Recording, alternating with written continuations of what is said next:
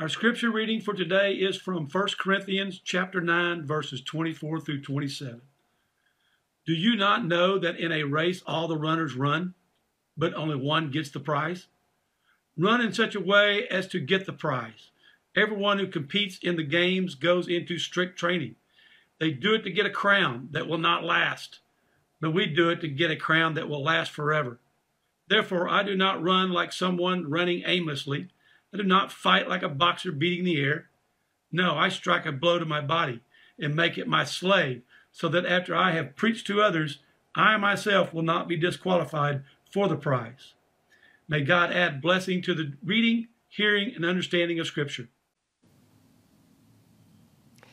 In this series about our spiritual ancestors, we've tried to take time each week to sort of set the tone with a video a, form of music that can connect us to the time and place of the person that we'll be talking about. So today's example is chant. Chant is defined as a short musical passage in two or more phrases used for singing unmetered words. In other words, it's a form of music very different from what you've already seen today, the kind of music that we usually use today. It probably originated in the church with the Psalms, which were meant to be sung originally. Uh, we have very few surviving examples of liturgies from the 5th century, the time period that we'll be talking about today, but they would have chanted psalms and other lyrics together. Today's example is Gregorian chant, which developed in the 8th century. It comes from the Benedictine monks of Santo Domingo de Silos in northern Spain. Now, it can seem hard to connect to not only musically but lyrically because it's in Latin. The Latin will say, Hec dies quam fecit dominis, dominus, which, of course, doesn't mean anything to most of us. But if we know where it comes from, it will. It's from Psalm 118 24. They're saying, in translation, This is the day that the Lord has made. Let us rejoice and be glad in it. Alleluia. So keep that in your mind. This is the day that the Lord has made. Let us rejoice and be glad in it. And see if your prayer, your worship, can resonate with people from more than a thousand years ago.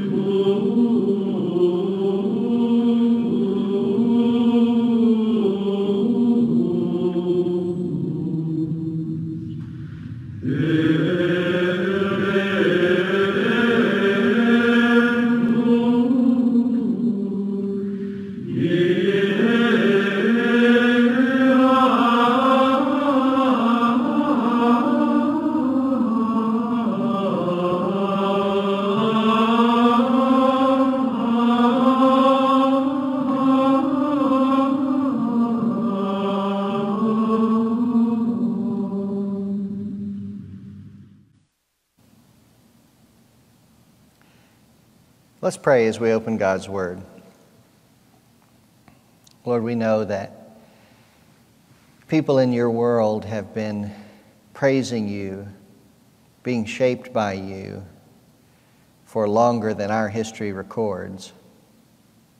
But we're grateful for the things that we do still have left, for the connecting points between your followers at other times and those of us who are trying to follow you today.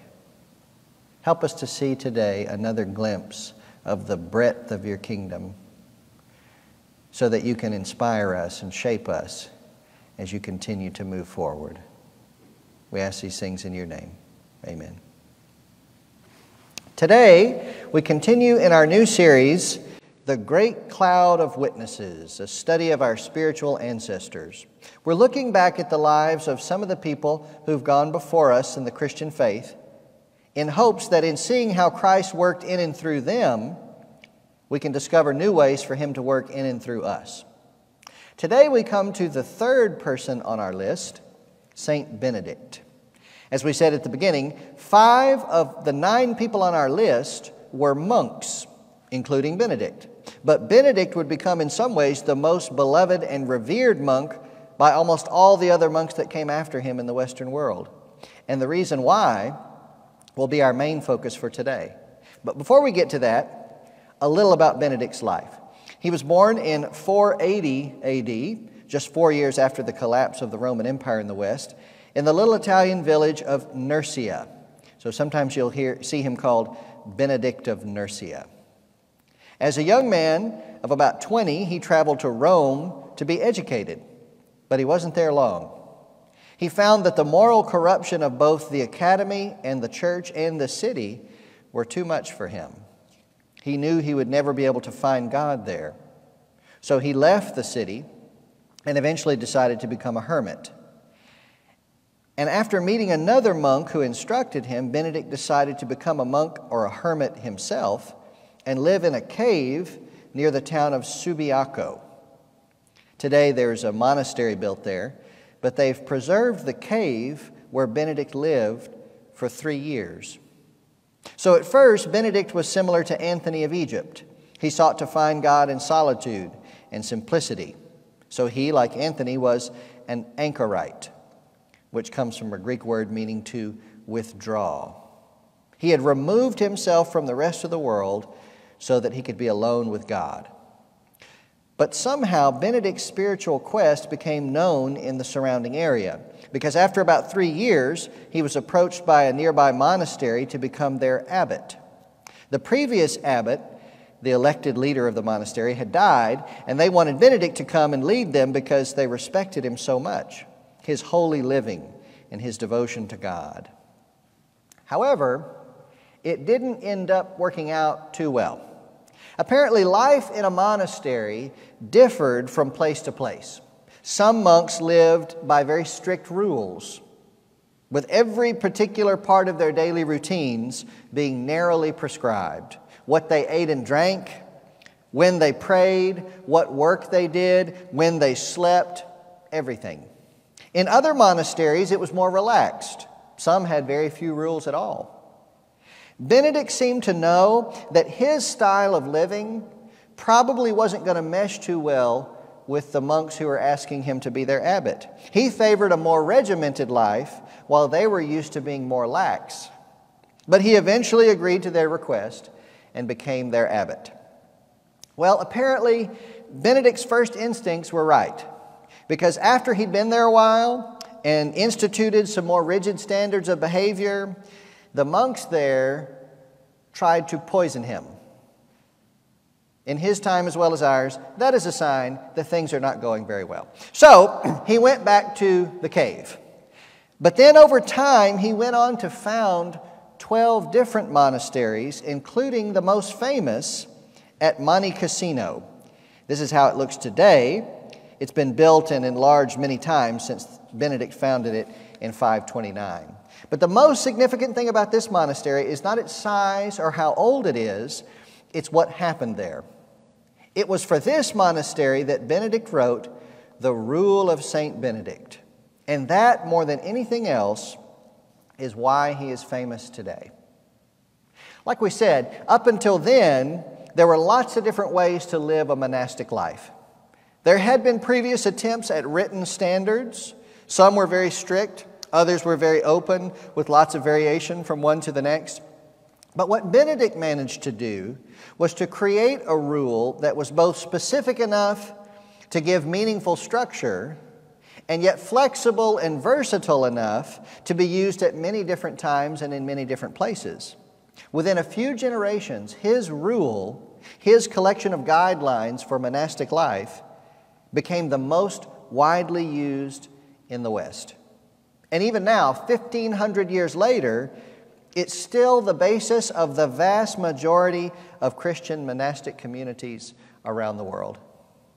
So, what's so special about Benedict's way of doing things? One thing that set Benedict's rule apart from previous attempts at creating standards for Christian livings was his source. Before Benedict, most Christian writers were heavily dependent on what they called classical literature, the writings of ancient Greek and Roman philosophers. But Benedict chose to base his rule solely on another source the Bible. In 73 short chapters, Benedict quotes the Bible 126 times, and he doesn't quote anything else. In other words, in his rule, he was trying to answer the same question that all Christians ask How can my life be patterned after the ways of God? Or we could say it this way How can I live like Jesus? Jesus loved and obeyed God. He lived his life in fellowship with God, in keeping with the Spirit of God's love. And that's what he calls us to do. So, how can we do that? Because it's not as simple as some people suppose. People often think that think of the Bible as an instruction book for living. You ever heard people use the, the acronym basic instructions before leaving earth? Like that's what the Bible is basic instructions for how to live our lives. Is that what Scripture really is? Sort of. Are there important truths and principles found in the Bible? Yes. Can we gain an understanding of the values of God from the Bible? Definitely. Will the Bible tell you what to do explicitly in every circumstance? No, not at all. That's just not how the Bible works. Instead, we have to take all the truth and wisdom and values that we find in Scripture and somehow figure out a way to apply it to our unique life situation. That's what Benedict was doing with his rule, adapting the life of Jesus to his unique situation. In other words, even though Jesus was not a monk, Benedict still felt that the life of Jesus could be instructive for the life of monks. Isn't that the same situation in which we find ourselves? Think about it. There are a lot of outward differences between Jesus' life situation and ours. For instance, Jesus was not married. Jesus did not have children. He didn't live in the time that we do. Jesus didn't have your job. He didn't use our technology. He never faced many of the issues that we face today. But does that mean that we have no way of living like Jesus? Of course not. It just means that living like Jesus today is going to require some careful thinking. We're going to have to adapt the life of Jesus to our unique life situation. By the way, this is not just an intellectual process, it's a spiritual process. If you have put your faith in Christ, then Christ's Spirit is alive in you. In other words, Jesus is facing all the life situations that you encounter. He's doing it in you, which means He will help you in each choice that you have to make. But as you attempt to imitate the life of Jesus in your own time and place, aren't you glad that you aren't the first person who's ever tried it? If there was someone else who had thought through what adapting Jesus' life means, and they had written it all down in a systematized way, wouldn't you be grateful for the help? For myself, I need all the help I can get. The rule of St. Benedict has been helping people, not just monks, but Christians of all kinds, for 1,500 years. So I think we should take a look and see how it might help us. The book consists of a prologue and 73 chapters. The prologue is actually one of the longest sections, and it's only about a page and a half. Most of the chapters are much shorter than that. So, what is it about? It's basically advice for living a spiritually intentional life. Again, it was specifically designed for life in a monastery, so there are some things that might not apply, directly to our lives. For instance, chapter 9 is entitled, How Many Psalms Are to Be Said at the Night Office? The monks prayed together eight times every day. They called it praying the offices. And there were certain psalms used at certain times. Chapter 31 is the kind of man the cellarer of the monastery ought to be. This was the person in charge of all the food and drink. So Benedict gives instructions about the qualities this person will need and how he should relate to his fellow monks in the course of his duties. Here's a quote If a brother should perchance request anything of him unreasonably, let him not sadden the brother with a cold refusal, but politely and with humility refuse him who asketh amiss. In other words, this person might have to say, No, you can't have any extra wine, brother but he should say it in a kind way, right? So there are some things in the rule that might seem pretty foreign to a modern non monastic reader, but there are quite a few things that are very relevant to the life of faith in every time and place. For instance, chapter 4 is about the instruments of good works. It's a long list with lots of scripture references of the kinds of things God wants us to do. Here's what it means, says Benedict, in general, to be a follower of Jesus. In the first place, to love the Lord God with the whole heart, the whole soul, the whole strength. Then, one neighbor as oneself. Then, not to kill, not to commit adultery, not to steal. You recognize some of the things from Scripture there. To honor all men. Benedict was insistent that no worldly standards of status should ever be observed in the Christian community. Doesn't matter how important your family was, or how rich they were, or how poor they were, or the fact that nobody's ever heard of them. None of that matters. All people are equally valued in the eyes of God.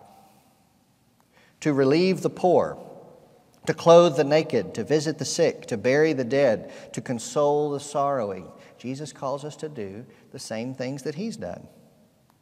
To prefer nothing to the love of Christ,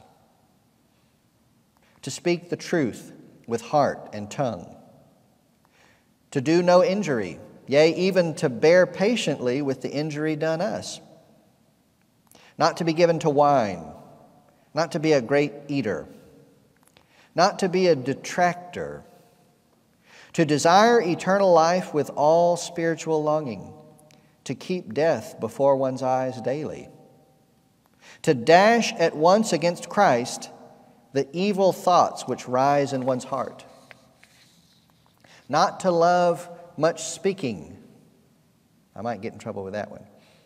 To apply oneself often to prayer, not to love strife, not to love pride, to honor the aged, to love the younger. And the last one is probably my favorite, and never to despair of God's mercy. In this life we live trying to follow Jesus, are we ever going to mess up? Yes. Are we ever going to mess up really bad? Yes. But even in those moments, should we ever doubt that God can forgive us and make us whole? Benedict says, not for one second. Never to despair of God's mercy. So the rule starts off with a wonderful list of what acting like Jesus looks like. Then in chapters 5 through 7, Benedict lays out his three most basic principles. Chapter 5 is obedience. Chapter 6, silence. Chapter 7, humility. How often do these three virtues come up in your idea of what being a Christian means? Unfortunately, sometimes we tend to leave all of them out completely. Of these three, obedience, silence, and humility, which one is probably the least appealing to most of us? Obedience. I wonder, is that why Benedict lists it first? Benedict believed that obedience was an essential part of humility, which is an essential part of following Jesus. He says as much in the opening sentence of verse 5. The first degree of humility is obedience without delay. This becometh those who hold nothing dearer than Christ. In other words, when God tells you to do something, do it. Now, in Benedict's case, writing for monks in a monastery, obedience had wider implications than just doing what God says. It also meant doing what your superiors in the monastery said, the abbot and the other leaders. Submitting one's life to God meant you also submit to other people in lots of ways. So, does that concept still apply to us? Does following Jesus mean that we will submit to others? Let me just warn you, we're about to get very personal and potentially controversial. But you know, sometimes that's part of following Jesus too. The answer is yes. Being a Christian means that we not only submit to Jesus, but also to others out of obedience to Him. In Ephesians, before Paul lays out what's sometimes called his household code, how we should treat one another in the interconnected relationships that bind us all together. In the very first verse of that section, he gives his basic governing principle for the whole thing. Ephesians 5:21. Submit to one another out of reverence for Christ. Submit to one another out of reverence for Christ. That idea that we will all be called to defer to one another, to submit, will be present in every relationship of life. In Ephesians 5, it covers spouses, parents and children, even masters and servants. Every person in every relationship will be called upon to submit to others some of the time. Let me say, this has never been one of the more popular ideas of the Christian faith. As Americans, with our history of an emphasis on personal freedom, we may have a harder time than most. But really, just as human beings, usually our default position is no one can tell me what to do. Right? That's just how we feel most of the time. No one can tell me what to do. But here's the problem that, that attitude may be very American, but it's not very Christian. A minister friend of mine calls it the idolatry of individualism. The idolatry of individualism. The attitude that my ideas about everything are always authoritative. Period. Again, that might be very American, but it's not very Christian. Instead, as followers of Jesus, the Bible says, submit to one another out of reverence for Christ. In other words, you know who can tell us what to do? Jesus. And he wants us to submit to one another. I've noticed something, especially recently, and maybe you have too. It's a sign that we're not really doing very well when it comes to submitting to one another. I've noticed that we seem to have abandoned the concept of expertise. Here's what I mean I would never attempt to build my own house. Even if I could save a lot of money, I just wouldn't do it. Why? Because I have no idea what I'm doing. I have no training, I have no experience. I can barely hammer a nail without bending it. Half the time it ends up getting messed up. So if I tried to build a house, I'm pretty sure it would either fall apart or catch on fire or both. Now, the bad plumbing might put out the fire, but I'm saying it's a bad idea. If I needed a house built, I would definitely choose to defer to someone with expertise.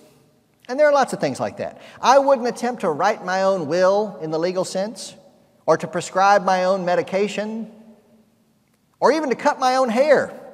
You can find some sad examples online of some people who have said, How hard can it be to cut my own hair? Go to the pictures. So there are lots of things that we readily admit require expertise. But then there are other times, maybe even bigger times, when we seem to ignore it altogether. For instance, there are quite a few people right now acting as if expertise doesn't matter at all when it comes to COVID 19. It's like somehow we're all equally trained in epidemiology. You hear it every day. Masks don't really work. There can't be that many cases out there. It can't really spread that much. Sometimes we act like all opinions on the matter are equally valid. But really, they're not. There are people who have studied and trained their whole adult lives in this area. What they think matters more than what I think. The truth is, but for those experts, we would never even have heard of COVID 19 until it was too late.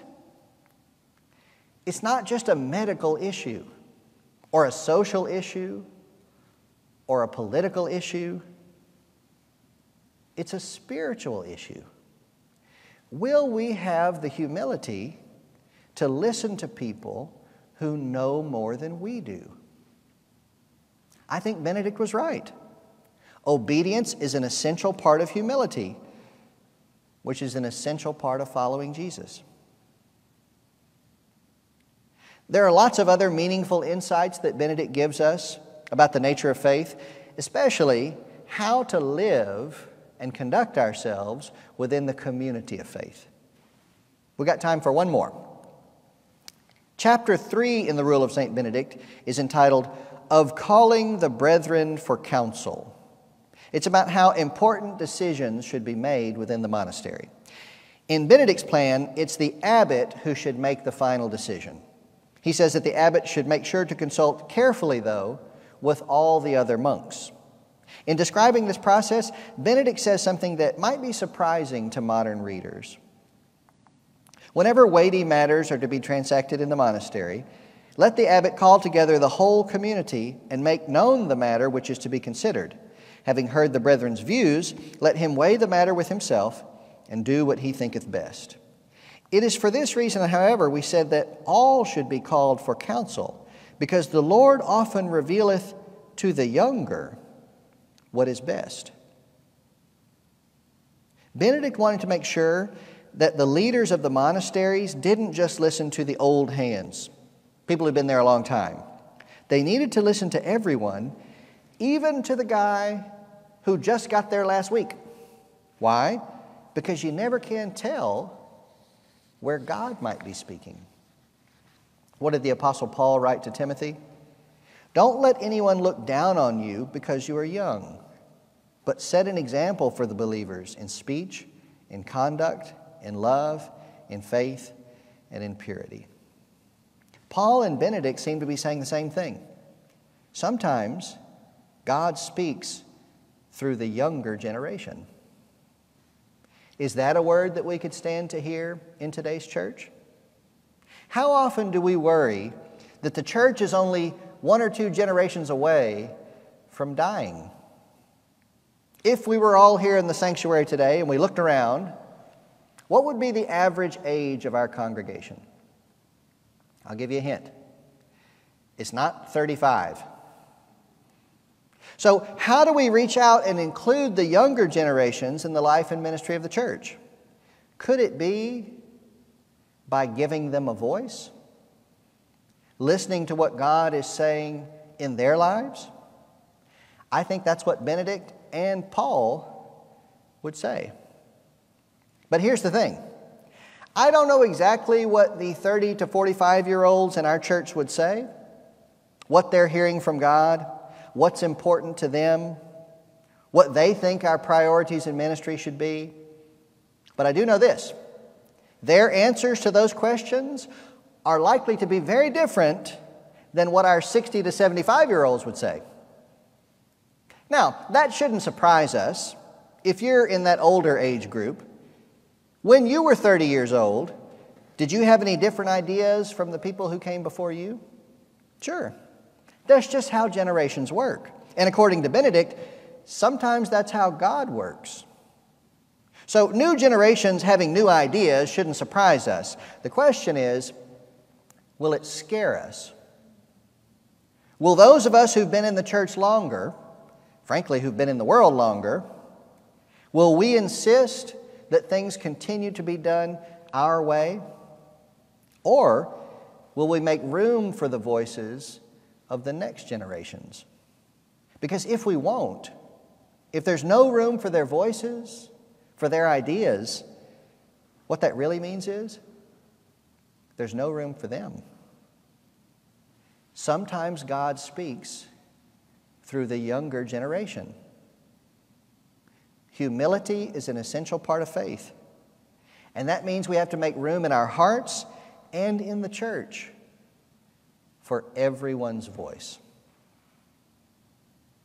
The rule of St. Benedict can be strange to us because our time and place is so different from his. But the main thing I think we can learn from it is what Paul told us in our scripture for today. Do you not know that in a race all the runners run, but only one gets the prize? Run in such a way as to get the prize. Everyone who competes in the games goes into strict training. They do it to get a crown that will not last, but we do it to get a crown that will last forever. Therefore, I do not run like someone running aimlessly. I do not fight like a boxer beating the air. No, I strike a blow to my body and make it my slave, so that after I preach to others, I myself will not be disqualified for the prize. The life of faith is not simple, it's not easy. It requires discipline. As Paul said, strict training. So, do you have rules for your own life?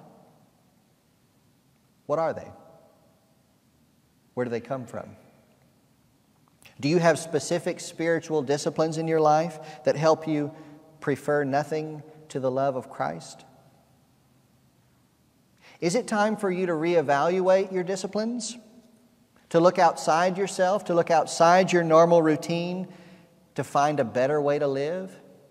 a better way to follow Christ. It might be something from the rule of St. Benedict, or it might be something else. But whatever we do, may we never despair of God's mercy, and may we run in such a way as to get the prize. Let's pray.